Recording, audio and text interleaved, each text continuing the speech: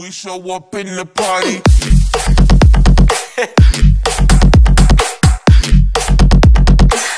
we show up in the party.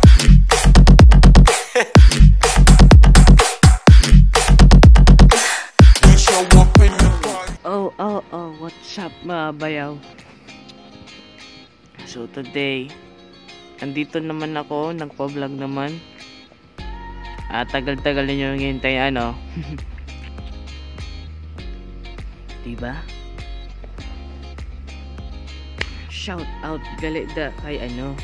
Shout out kay your number one fan of Jamil Editor si Tresh Alpon Asaira sa grade 7 Beta Juice kasi na-subscribe ko sa kanya and then ipakita ko sa inyo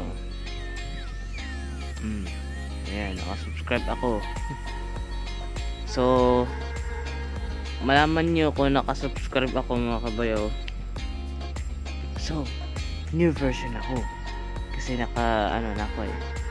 Naka shades uh naka glasses na ako. Kasi hindi ko mag akala ko sino ako ah. Ang pangalan ko ay si Jad Carlos Larte. G H O N C A R L O S O S O L E L A R T E. Yan. Bahala kayo yung ibig sabihin ng pangalan ko ilagay ko lang sa description yung pangalan ko.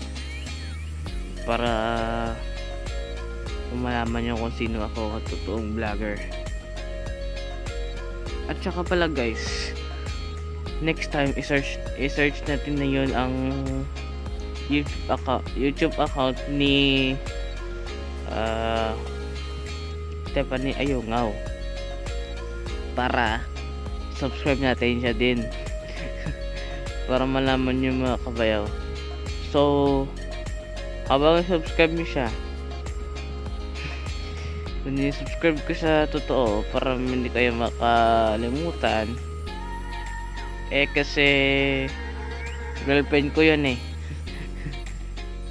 Kung gusto yo kung gusto ko siya i-subscribe kung meron siyang vlog kung wala pa siya vlog ibig sabihin kami ng, dat kami ng tatlo no, taga dito sa amin taga dito.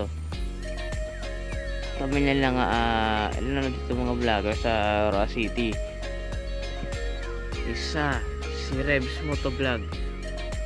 Pangalawa si DC Motovlog pangatlo Sir Ariel Vera pangapat si Maoy Vlog Vlog Vlog.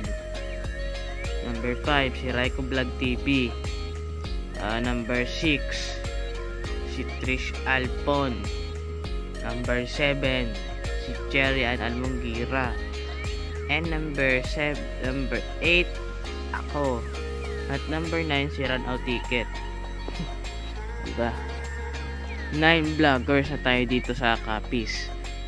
9 vloggers 9 vloggers diba? 9 vloggers. Oh, 9 vloggers. Yan. 9 vloggers na dito. Kasi dami na tayong vlogger dito sa Capiz. Ano? Kay kasi gusto nila may famous vlogger sa dito sa Capiz gusto na mag magba-vlog sa Capiz para meron silang swerte o kahit ano-ano lang ang ginagawa nila. So hanggang dito naman tayo makabayaw. Kita-kits sa susunod na vlog